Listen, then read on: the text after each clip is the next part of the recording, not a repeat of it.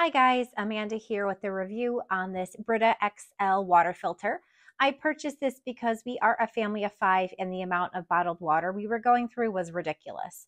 Now this dispenser will hold 27 cups of water, 18 in the pitcher and 9 in the reservoir.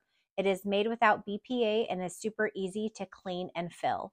This dispenser uses a standard Brita filter which needs to be replaced every two months.